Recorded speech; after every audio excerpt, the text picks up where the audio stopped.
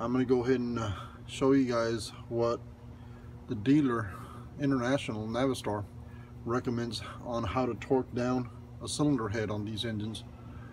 Uh, I'm gonna go ahead and uh, show you guys the pamphlet they sent how to check the cylinder uh, sleeves height and stuff like that. We didn't remove pistons cylinders cylinder wall so we're just gonna let it be. Uh, the one we're gonna focus on is torquing down the head bolts sequence and of course uh, foot pounds of torque. Uh, let me go ahead and show you guys the pamphlet they sent and then I'll go ahead and move the camera over and I'm going to go ahead and start torquing down the bolts. Alright guys. This is uh, the pamphlet they sent us to proper procedure on how to set the cylinder walls check with the dial gauge on height so on and so forth. They even give you a little part on the sheet so you can fill in the height of each cylinder so on and so forth. Uh, we're not going to worry about this yet. We do have an M-frame coming up soon but at the moment it's just retorquing the cylinder head. So here we see the recommended bolt sequence A and B and then of course they start by giving you instructions on how to torque them. First they say torque down to 110 foot-pounds. Then they say go to 150 foot-pounds. And then of course they go to this diagram here which you're supposed to mark the bolt where it's at at 150 you're supposed to put a mark at 90 and then of course you add another 30 degrees. That'll give you basically is once you get them at 150 you do a quarter turn. And then of course you do just a tad bit more which is like a 30 percent 30 degrees give or take. All right that's what we're going to be doing. We're going to follow the instructions and let's see if we can get this head torqued down so that we can continue tomorrow on finishing the assembly of this unit.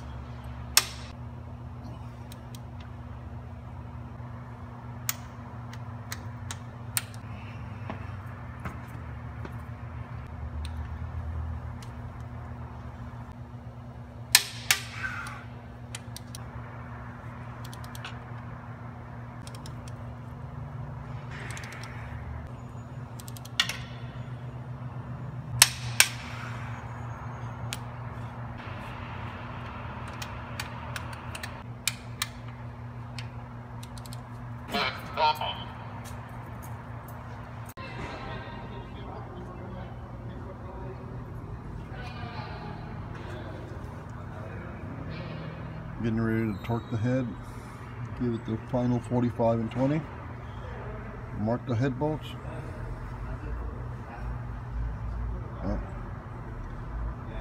Get started.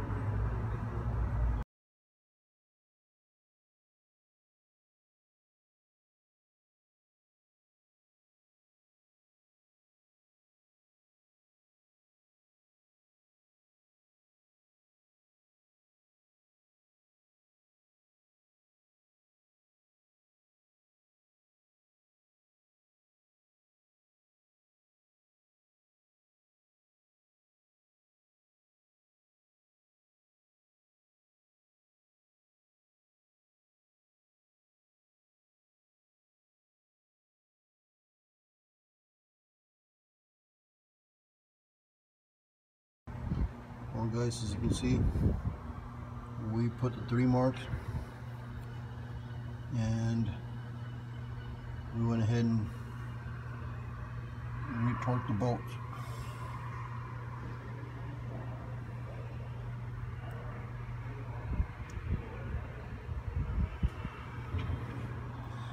I know my marks are not the greatest, but hey,